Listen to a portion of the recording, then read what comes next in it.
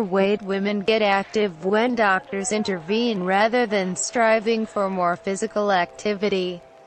Alone, overweight, middle-aged women may benefit from the assistance of their family doctors. The results of a new trial in the Journal of General Internal Medicine show that obese, middle-aged women who participated in an exercise program based at their primary care doctor's office were more likely to continue to exercise over several months compared with those who were self-guided. Women who participated in programs in their doctor's office had a structured environment allowing them to focus on their lifestyle habits like eating and exercising and make changes, says Molly Conroy, Associate Professor of Medicine, Epidemiology, and Clinical and Translational Science at the University of Pittsburgh School of Medicine. Obesity and physical inactivity are significant risk factors for cardiovascular disease in middle-aged women.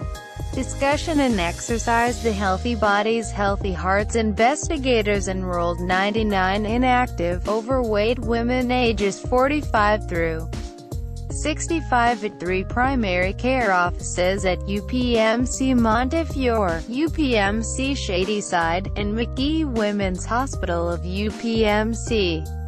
The women were randomly separated into two groups, one in which they participated in 12 weekly sessions at their primary care physician's office consisting of 30 minutes of discussion and 30 minutes of moderate intensity exercise, and a self-guided group that received a manual for independent use.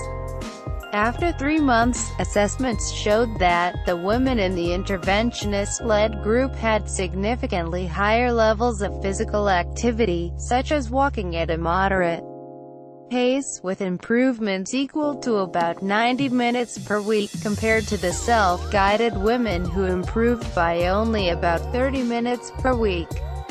After a year, both groups reduced their level of activity. The self-guided participants returned to pre-intervention activity levels, however, the interventionist-led women were still more active than they had been before participation by about 60 minutes of exercise per week. These outcomes imply that primary care-based interventions can be very beneficial to keep sedentary women motivated for several months. Many indicated their confidence was higher and that they felt more comfortable exercising with support. Follow-up sessions could help women over the long term, says Conroy. Future efforts should focus on finding the best way to sustain that activity, using resources available in the primary care setting. Co-authors contributed to the study from Heart Change, Chatham University, and University of Pittsburgh. The NIH's National Heart, Lung, and Blood Institute sponsored the work.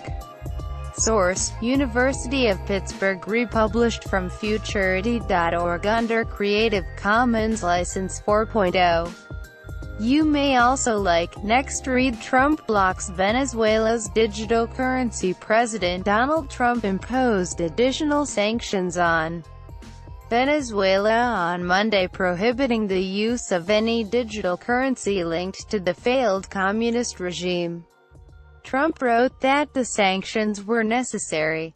In light of recent Read more. Trump to propose death penalties for high-intensity drug dealers. President Donald Trump will roll out a set of proposals to address the opioid epidemic on Monday that includes death sentences for some drug dealers, according to Andrew Bremberg, the director of the White Read more. Putin wins six more years at Russia's helm. Moscow, Russian President Vladimir Putin basked in a landslide re-election victory on Monday, extending his rule over the world's largest country for another six years at a time when his ties with the West are.